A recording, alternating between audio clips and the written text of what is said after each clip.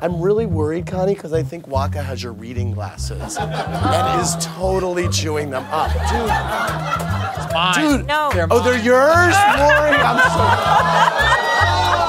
Oh, wow. Sorry, oh. Maury. Our he poll is question chewing them. tonight was Oh. Who would you rather be your father? Oh. You voted, and here's what you said. I'm so sorry. Oh my God. Hey, YouTube, thanks for watching. And make sure you subscribe to our Watch What Happens Live Clubhouse channel right here. And to watch more videos, click here and here. See ya.